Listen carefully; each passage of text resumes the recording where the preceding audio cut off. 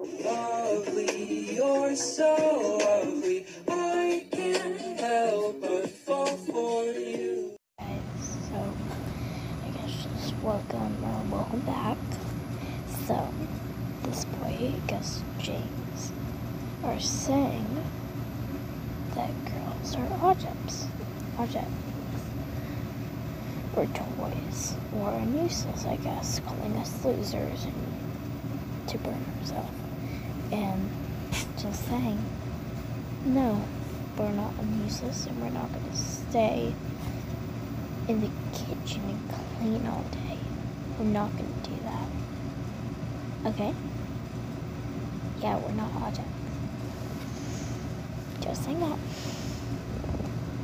He's very mean, I guess. Um, I guess that's all I have to say. And stop. Just stop. I guess I'm gonna show you some pictures or screenshots that I took of what he said. So